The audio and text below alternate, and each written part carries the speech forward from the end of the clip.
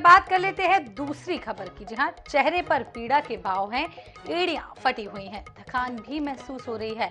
लेकिन फिर भी किसानों का हौसला बुलंद है। किसानों का विशाल काफिला अपनी मांगों को लेकर लॉन्ग मार्च निकाल रहा है।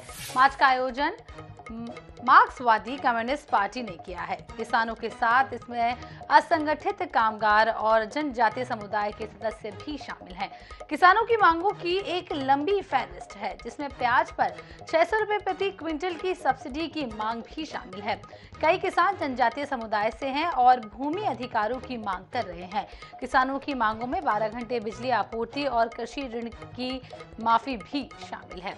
किसानों का मार्च नासिक के डिंडोरी से शुरू हुआ। बुधवार को मुख्यमंत्री ने किसानों को मुंबई आकर बातचीत करने का न्यौता दिया है। लेकिन किसानों ने मांग ठुकरा दी थी।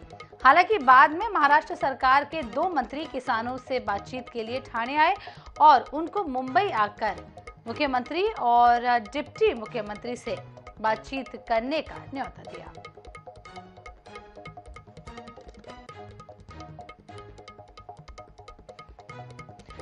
प्याज के दाम लगातार बढ़ रहे हैं, जिसके लिए अब किसानों ने महाराष्ट्र में एक लंबा लॉन्ग मार्च निकाला है। आपको बता दें, किसान ने अपनी मांगों को लेकर यहाँ पर लॉन्ग मार्च निकाला है। नासिक से लेकर मुंबई तक ये लॉन्ग मार्च निकाला जा रहा है। प्याज पर छह सौ रुपये प्रति सब्सिडी सब्सिडी देने की मांग की जा रही है। 2000 के न्यूनतम मूल्य पर ये प्याज बेची जा रही है। दिन में लगातार 12 घंटे बिजली मुहैया कराई जाए, ये भी किसानों की मांग है। और तस्वीरें भी आप देख सकते हैं। लॉन्ग मार्च की तस्वीरें हैं। लगातार पैदल चलकर किसान यहाँ पर अपनी बात कहते हुए नज़र आ रहे हैं। सब्सिडी को लेकर किसानों की मांग है। किसानों को मुख्यमंत्री, महाराष्ट्र के मुख्यमंत्री ने नौता भी दिया था, जिस पर बात करने का आश्वासन दिया गया है।